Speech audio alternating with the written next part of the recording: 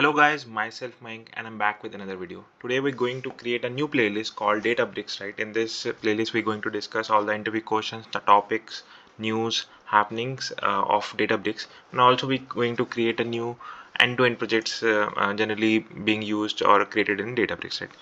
So topic for today is autoloader versus delta live tables uh, in Databricks, which is a common uh, hot topic, right? Generally asked in interviews, right? So let's discuss that.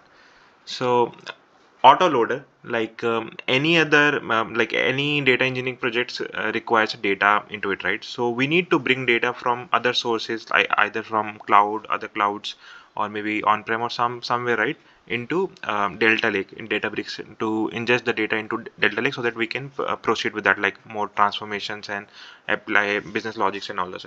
But first we need to bring the data into Delta Lake. So autoloader is used for um, um, one of the mechanism to bring the data. There are other mechanisms like uh, we can use the UI also, we can use the copy into command also.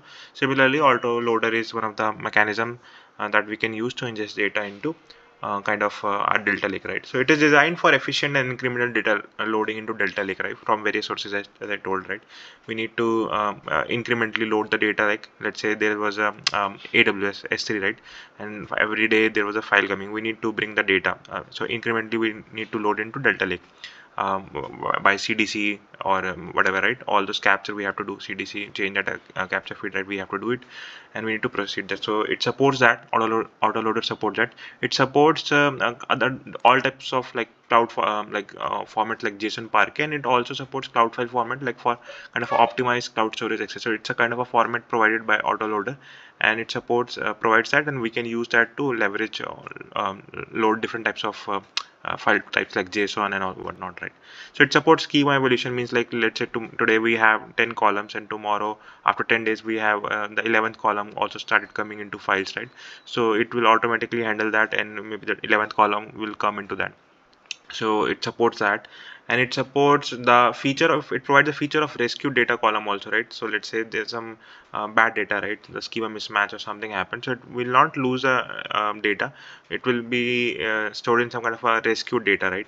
So there will be column created rescue data and it will stored over there. Will not lose the data for that. So it's provides feature for that also. It is ideal for both streaming and batch ingestion both right and autoloader we with the help of autoloader we can um, um, like load the files like millions of files or I would say large amount of data very efficiently and cost efficiently as, as well the um, like the performance efficiently.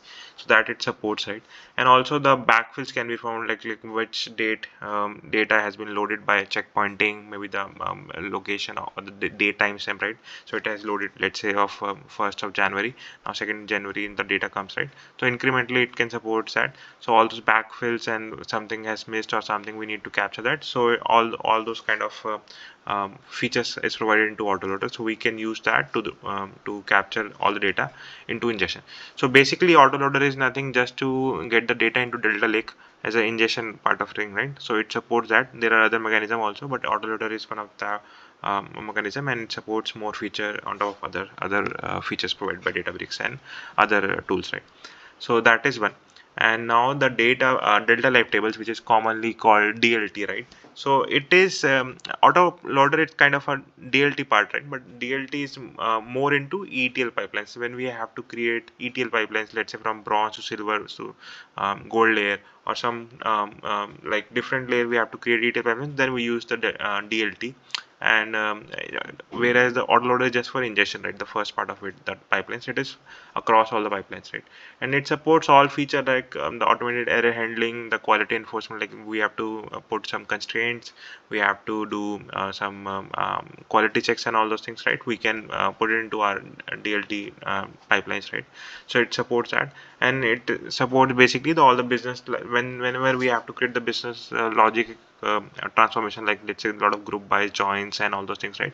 Then we use the DLT right? We can support create uh, different streaming tables and all and automatically we can schedule it right? Uh, I'll show you in the other videos also like how to create the DLT tables stream it and schedule it orchestrate it right? So it will be give us end-to-end -end view a lot of um, quality enforcement quality handling queue handling error handling right?